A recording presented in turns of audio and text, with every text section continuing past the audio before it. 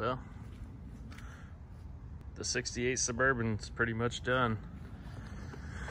Got a few little cleanup things to tidy up on and I'm gonna make a block off plate for the firewall.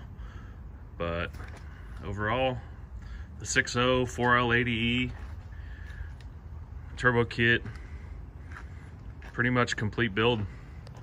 It's almost all done. It's had an old small block 350 turbo 400 old tired motor. We went with a fresh built 6.0 that I built in-house. Uh, Gen 4 rods Summit Pro LS pistons Summit stage 2 turbo cam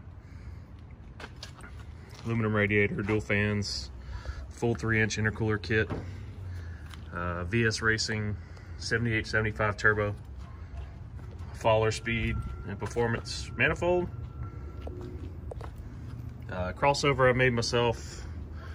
The driver's side is a Summit LS swap cast manifold. I tried to make a stock manifold work, didn't clear. Uh, went with the LS3 intake because this has the, this was an LY6, so it had square port heads. It's got the PAC 1218 valve springs, car style water pump.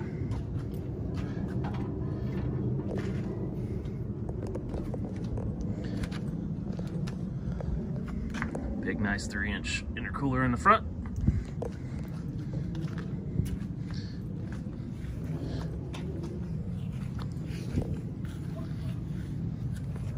Uh, this one's on the Holley Terminator X. Max, I guess. Uh, for the fuel system, I believe this is a Boyd's tank with uh, dual Aeromotive uh, 340s did a dash 8 feed. No uh, dash 10 feed dash 8 return line. Aeromotive regulator. Still got to tidy up some fuel lines there. Uh, it's pretty much done other than just kind of doing some cleanup work. But uh, let's fire it up for you. It's also drive-by-wire so we got the Camaro pedal or I'm not sure if it's Camaro pedal, but it's a pedal recommended from Holley, uh, bracket I made for it.